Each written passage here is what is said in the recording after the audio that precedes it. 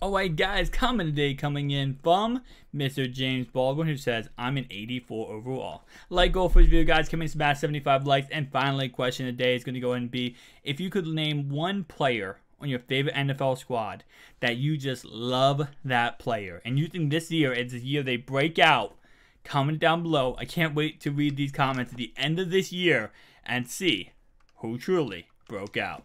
Alright guys, so this is another way of sniping. This is actually a way that a lot of people use outside of just the auction house. And this is, of course, sniping through sets. Now, at the moment, the best set we have to go and snipe through are going to be the legend sets, just because of the fact that they are the easiest set to go through.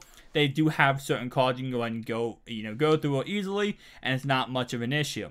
Now, throughout the whole entire season of MUT 19, we will have a lot of different promos released into the game, and as more and more promos get released in the game, that's when these kind of sets sniping really becomes really important.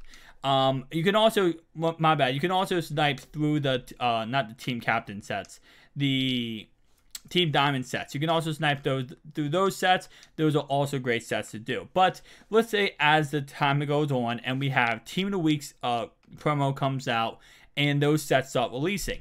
This is a great way to go ahead and make some really good coins. Whenever a Team of the Week set releases, let's say in the first hour of it releasing, a great way to make coins is go ahead and just go into that set and go through each single card and keep doing exactly what I'm doing here and eventually, what will happen, especially in the first hour, is people will be pulling these cards and they'll throw them up for willy nilly, not knowing what they go for. Some by mistake, you might get a couple 150 coin snipes that way, and some of them just because of the fact that you know people uh, people really don't know what they go for, and they're like, "It's an 83 overall. Maybe let's go ahead and throw that card up for." You know, for a certain uh, price tag, and hopefully it sells and I actually make some coins back. Now, with that in mind, though, you know, it all depends on how lucky you can get. That does come down to that. And of course, you be very, very fast when it comes to certain promos. Now, a good way to go ahead and snipe faster when it comes to certain sets is if there's a set with, say, with a hundred different versions of one card.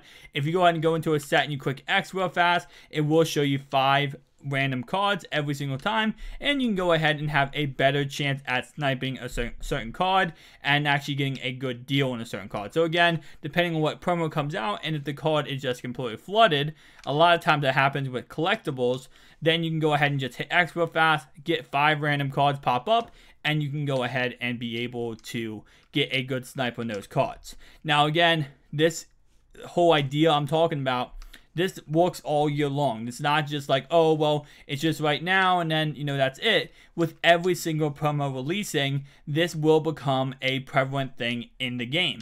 And again, this is honestly what I like to snipe the most. This is how I like to snipe the most because it gives me the most opportunity and most, you know, I guess, chances for my time of sniping. There's a lot of times where I go ahead and buy a card in the sets like this, and I'll go ahead and resell it. Now, you have to be very, very careful and uh, what I mean by that is because you have to know what these cards go for. A lot of times the set prices will always be more expensive than they should be to go ahead and complete the whole entire set. So for example, you have to look up, if you're going to be sniping some legends, take a quick look on MUTHEAD.com and see how much these cards are going for. So you know, okay, if I buy, you know, Reggie White at uh, 83 overall for 19,000 coins, is that what he's actually going for? Because what happened a lot of times, and this actually, you'll fall victim to this at nighttime sniping. Again, night sniping, we talked about the last two videos. Very awesome thing to do, but it's very risky at the same time uh, if you go ahead and fall into that whole trap of night sniping, a lot of times because there's less people on, these set cards will go ahead and go for a lot more than they actually go ahead and should be. Because not many people are getting on, completing sets, going and putting cards up. So you have to be very careful with that in mind. You do not want to go ahead and get tricked into buying a card that goes way too much when it's not selling for that. And then the next day you try to sell the card and you're going to be in the hole because it's not going to be selling for that much. So again, as I said, always check how much cards go for on MUTHEAD.com. Great source to go ahead and get a good understanding on, you know, okay, am I getting a good deal on this card? Yes or no. Now, of course, I feel like there's a lot less competition when it comes to set sniping. Uh, yes, there are some people like myself that love set sniping, but some people do not. Some people like to go and just go in the auction block mainly because it is not as consistent. You can see right there, I went through the whole entire 14 sets. I didn't get one snipe. It's not as consistent. I am doing this at 7 p.m.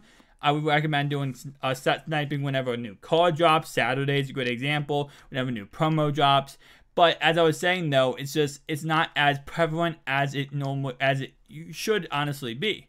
So with that in mind, let's go ahead and go right into the Team Diamond sets. So again, this is a good example of, yes, these Team Diamond sets are a great way to snipe too. And this actually makes it a little bit easier than going ahead and going to the auction block. Because the auction block, when we went ahead and did do those sniping, yes, it's you can snipe off the auction block, and you saw me do it the other, uh, like the last five episodes of the series, and it was pretty awesome. I mean, I did get some good snipes.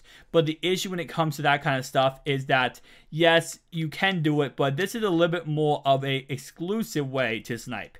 Just because the fact that you know what exact elites are going ahead and going to these sets, and what elites will be put up more often than not to go ahead and get some good snipes. Now, I do not recommend going ahead and sniping the gold cards.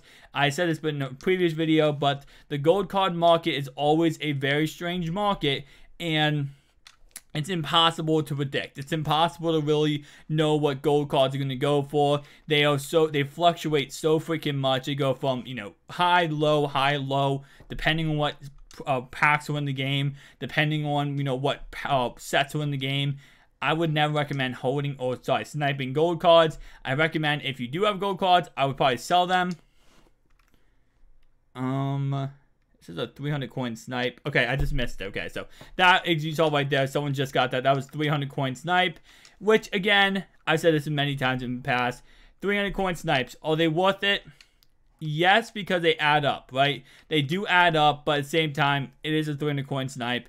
I'm not going to break my back over a 300 coin snipe. I'm going to go ahead and try to get one, but if I am too slow, like in that case where I just missed it, I'm not really that mad. Now, I have lost, you know, in the past, in the past videos you guys seeing, I have lost snipes of larger uh, calibers, like, you know, 2K, and I think I lost one I was 7K the other night, which 7k snipes, those are the ones that really hurt, just because of the fact that that's a lot of coins. And you get a couple 7k snipes, you're gonna your coins are gonna start adding up very, very quickly, and then you're gonna start making a lot of coins, right? So losing those snipes are the worst, but again, in a like in these videos I do a 10 minute sniping video. So realistically if I did these for 30 minutes I probably could get 5 6 7 8 snipes and that slowly adds up. But just again I do do these videos at 10 minute videos just to go ahead and make them a little bit shorter for you guys. I know not everyone wants a 20 minute video of me covering one subject and even if I am sniping in these videos, it's not as prevalent or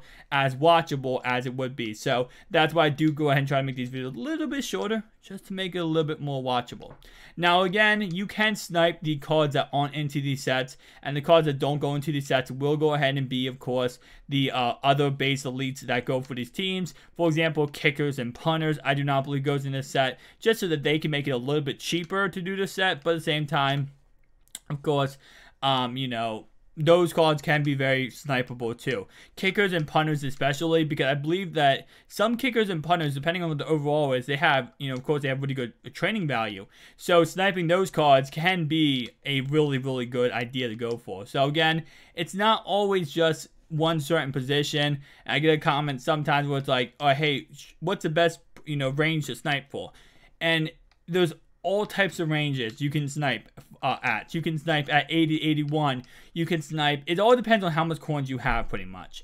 I have 30,000 coins in this video, so my range of sniping would be more of 80 to 81 instead of, you know, if you have 100,000 coins, 300,000 coins, a million coins, you can go ahead and up that, you know, sniping value to a certain degree because obviously it does go ahead and you have more of a uh, leniency to go ahead and do.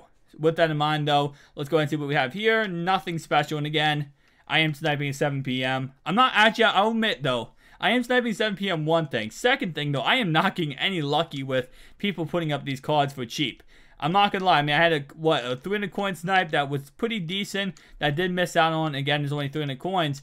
Uh, nonetheless, though, I gotta admit that you know I am not really having much luck, which sometimes that's just a, that just happens. You know, it's not always you're gonna go on the block and get a million good snipes. And again, I said this before. I think I said this in the beginning of the video. Set sniping is not always the way to go especially when it comes to stuff like this, because you are looking at certain cards, right? You are breaking it down by certain cards. You're not looking at a wide a variety of cards that you could go ahead and get a, you know, crazy snipe with. So, for example, if we go ahead and go to the auction block, that's why I do like the auction block sniping, and I've said this before, it's more consistent.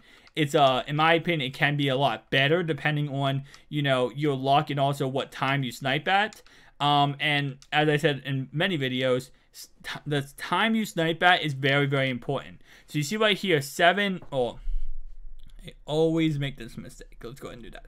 As you see right here, 722 is what time I snipe at. Well, right now. And again, that's not the time you want to snipe at. The time you want to snipe at is going to be around uh, 1 to 4 p.m. So if you enjoyed this video, guys, make sure to like and subscribe button. See you guys in the next one. Peace out.